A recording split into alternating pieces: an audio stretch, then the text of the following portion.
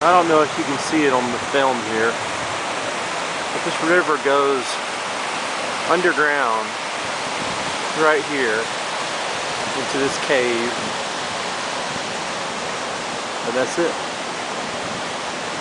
Never seen anything like it. Amazing. Hmm. If it didn't go in that cave, I don't know where it goes. Weird.